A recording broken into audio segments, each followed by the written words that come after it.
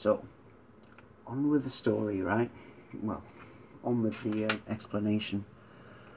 Uh, just, noticed actually, I've got an email back from the person who I'm going to speak about now.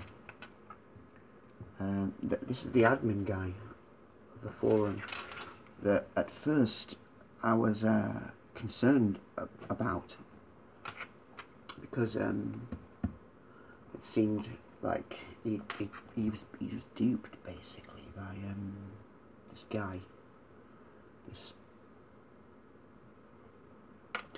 thing, a, a, a name caller. Shall I refer to him as his real name? Uh, on this Luhan, yeah. Now, he's got a forum admin person from Italy called Andrea. Goes under the name NDW. NDW. Small caps, small letters. I mean. Um, and when I asked him, uh, the world is waiting for your response, he, he replied saying,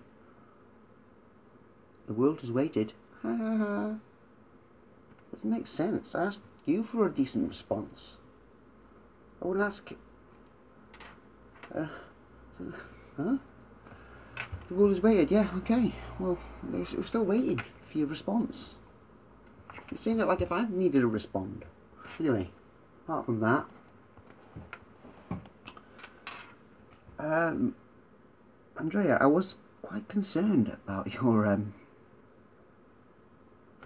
the fact that you were kind of being caught up in this, right? I can only um, conclude now from your responses and stuff and your reluctance to even acknowledge anything that I've said about how dodgy this person is, that you're actually in on it as well. And a stooge, if you don't know what a stooge is, it's kind of like a, a person that pretends not to be an, or an outsider, pretends to be an outsider, totally unrelated to the whole scam, uh, but in fact is part of it. And um, uh, kind of key to keeping people, uh, other outsiders in on it, uh, uh, in getting duped as well. Uh, let me just get this down. The the reason why I was pissed, well, no, pissed off with Andrea in the first place was the fact that he blazed my address online. He knew that I'd uh, split up uh, uh my girlfriend. Well, we, our, our relationship, you know, went tits up, and I was uh, living in my works unit uh, on the edge of town and um, the fact that he wouldn't, I mean, a couple of years previous to this, he, he, he wouldn't give me his address, even though that I was going to send him, you know, um, some some items to make orgonite out of. Uh, and he gave me, he said, oh no, you can't, you can't send it to my house because uh, something about like the uh, the postal service will put spells on them on anything that's sent to his house. So uh, he gave me like a, a, different address of his friend's house, like on, on you know, uh, miles away that he would go and pick up in a few weeks.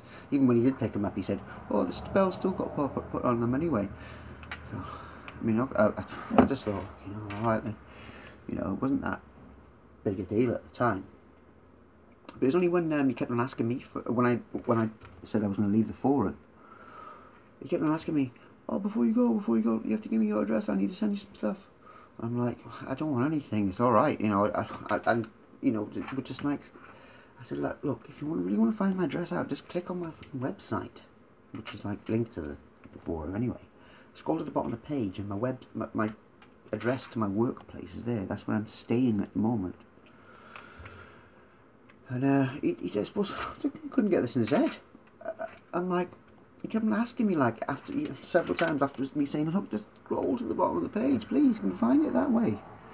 And uh, and then I checked the forum. Then a few days later, uh, he he blasted up my contact page on the forum. You know, he, he clicked on it, it's a picture of my roof and stuff.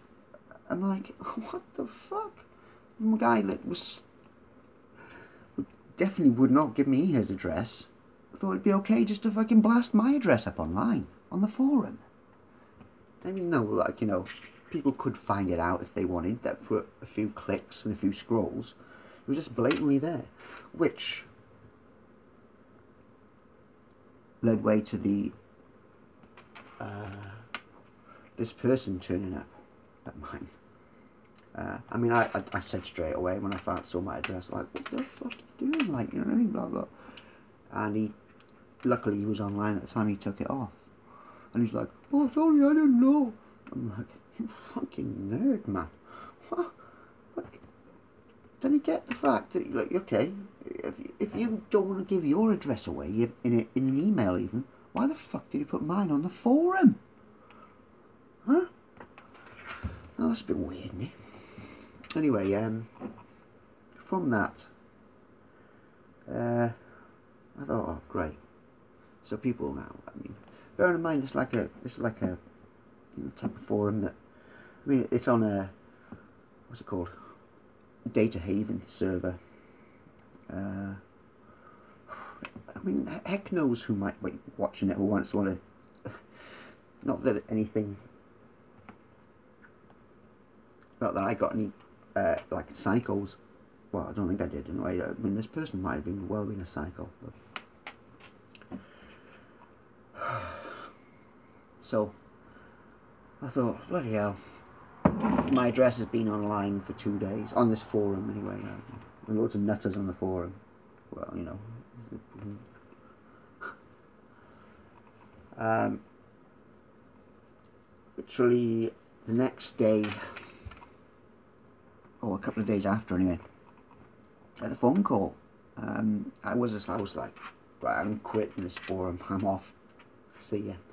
Now I got like a phone call the next day, um, about ten o'clock in the morning, um, to my works unit there, um, and this uh, this female voice on the phone saying, uh, "Hi there, I'm uh, I'm so and so off the forum. I, I got banned from the forum, and this is the only person that got banned that I, I know of from the forum, right?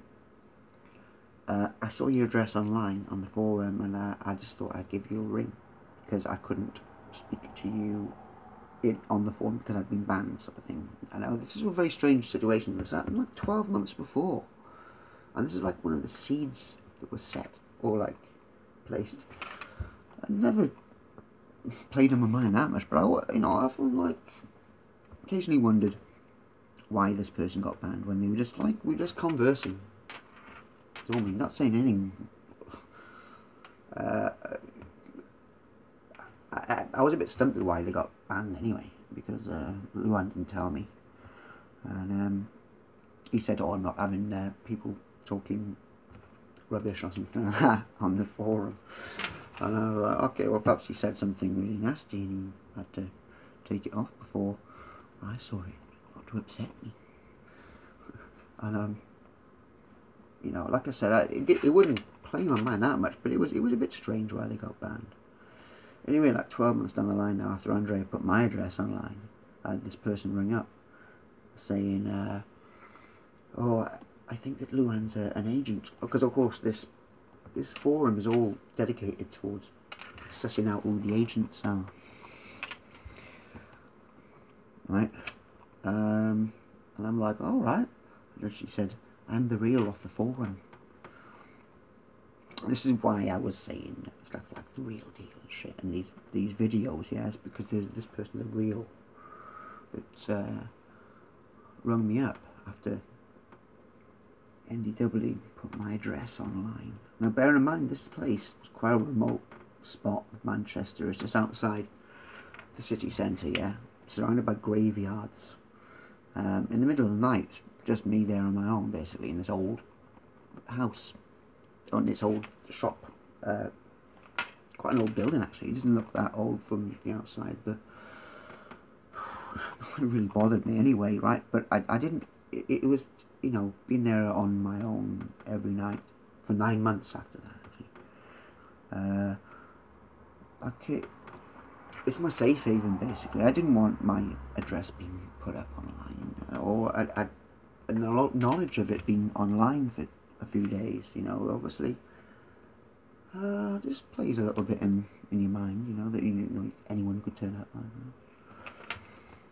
Um, so this person rang me and said that they wanted to speak with me because they were um, just wanted to talk about things really and about uh, kind of how, uh, how dodgy Luhan is and, and shit like that. And I'm like, all right, okay. But then they would say, but he's a good person, really. Um, and I'm like, well, I know. I fucking. It'd be interesting to meet to meet you. Actually, quite sounded quite hot on the phone. I gotta say. Now, she booked herself in for an orgonite making workshop two weeks from the day that she ran. Yeah, I spoke to her on the phone, and she, I booked her in. I was doing workshops, doing orgonite workshops, and she booked herself in two weeks.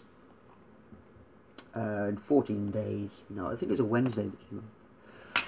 And um, Wednesday the 20th of September 2016.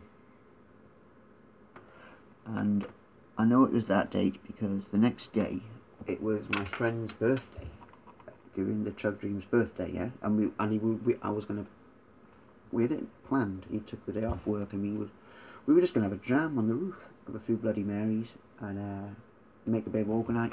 I, I, I about like a constructive day, really, a full day of it, um, rather than just go down the pub and get wrecked. You know, thought we'd do something different. So that's what we did.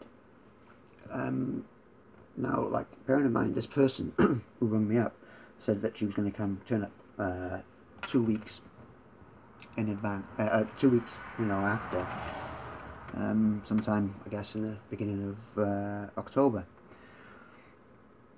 Now, the very next day after she rang, I, uh, I got up in the morning and I left the house about, I left the, the, the workshop about um, half eleven or something in the morning to pick my mate up um, to bring him back to the workshop.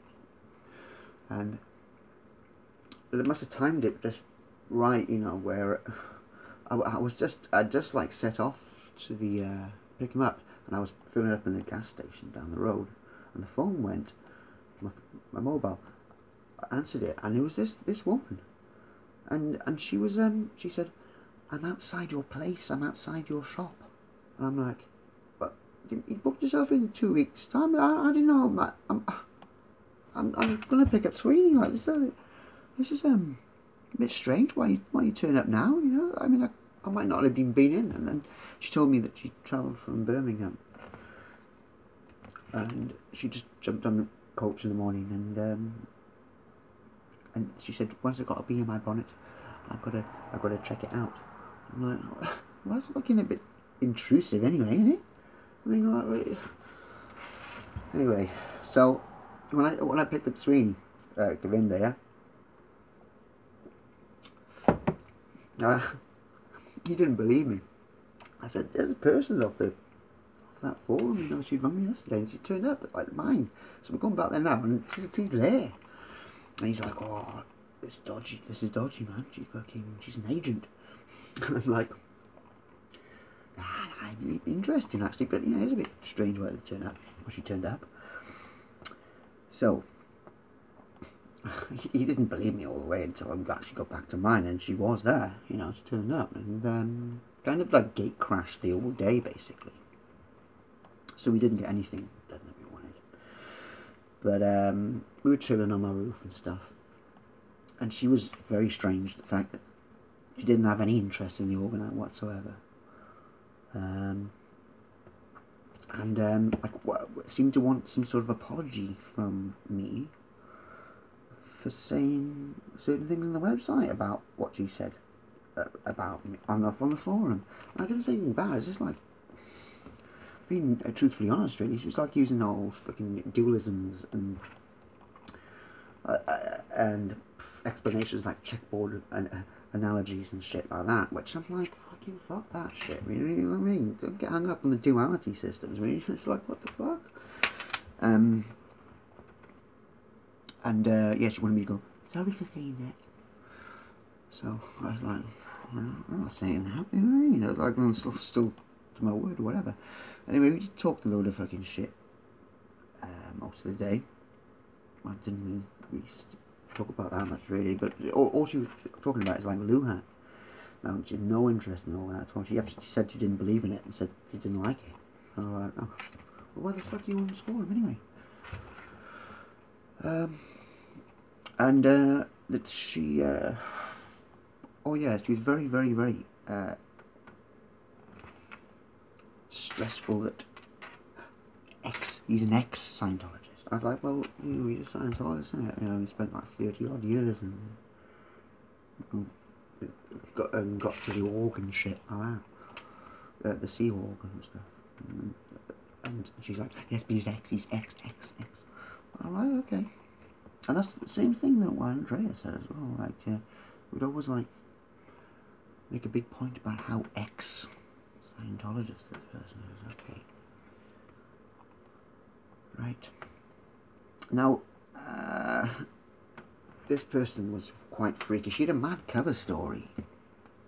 Her cover story was that um, she was training to be the, the first 50 year old 100 metre sprinter gold medalist. 50 year old. Like she was 48, 47, 48, something like that. And she was um, training to be like um, the first 50 year old gold medalist sprinter. Hmm. That's quite bad. She smoked fucking Super Kings. Sausage butties. Uh, and the first thing she said when she turned up, she said, uh, "Oh, oh, you have to excuse me because I'm, I'm all, I got my lycras on underneath, underneath me, um, my clothes, and I'm all so sweaty and hot because I've been on the bus and all that." And it's really like, what? You know what I mean? But like, oh, okay. Um, she ended up being quite freaky actually, and um, doing some weird stuff on my roof, attracting attention and shit. And I'm not going to go into details, but like, we just thought we were a freaky patient, and took it round to my ex partner's house. Um, well, you know, just for a bit of a change of scenery, because she just leave, lived over the way there. This is the the girl who went was going out with for years, and and uh, we still were friends and all that, and and just and because you know she'd been called uh, a man as well, so this is like uh, they had something in common, right? Both being called men, uh, a man, a, a, been called trannies basically, right, by this person. Um,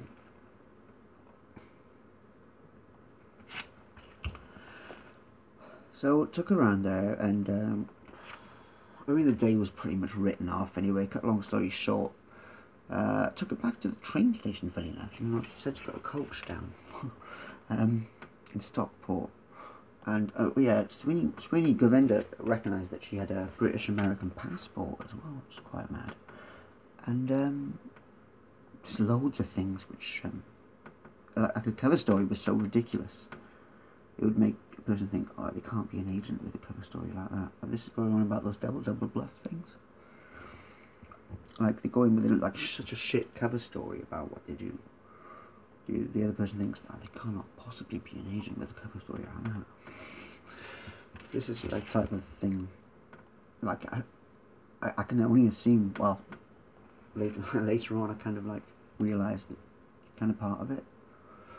So this means that this kind of all got planned 12 to, to 16 months beforehand when she got banned from the forum. And funny enough, she set up a, a Facebook account just after she got banned. Um, with just pictures of her on it in some fucking shiny pants and stuff, right? Um, with no friends, no friends in the pictures whatsoever. Uh, you know, it's, one, it's, it's like a blatant sort of um, uh, fake, fake uh, Facebook account kind of thing. And uh, after that day, it never got touched. Um, she might have updated it now, but I checked it in August or something, and it hadn't been updated since like the 20, 20th of um, September last year, which kind of highlights again that it was only set up to kind of like blag that she was like a, a normal person, or like a, just a normal regular person, not not um, associated or linked to this group of people. Um, just some of the freaky things which she would um, say. Just uh, at the time, we just thought, you know, just nutter off the forum, and I was like really pissed off with NDW for having to put my address online and for this woman to turn up. Right, she was. Oh, there's fucking someone ringing. Just leave it finished. Leave it.